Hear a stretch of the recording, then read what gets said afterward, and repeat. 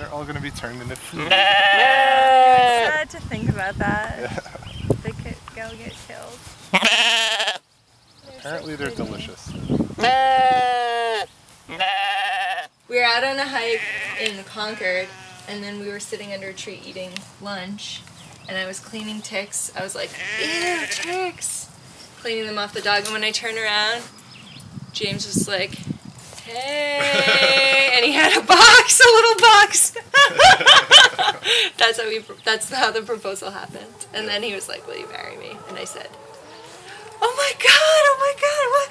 Oh, this is." I just think I was crying. You have I to was the and then. James was like, "You didn't answer me yet," and I was like, "Yes, obviously, yes, yes." I was like, so I was, I really didn't know, even though I thought it would happen at some point. It was still like a total surprise, which was very romantic. But she kept the. It was a strange day because I had. I was wearing these shorts, I think, and I just they were just sticking out the box. Yeah, it's like one of those weird.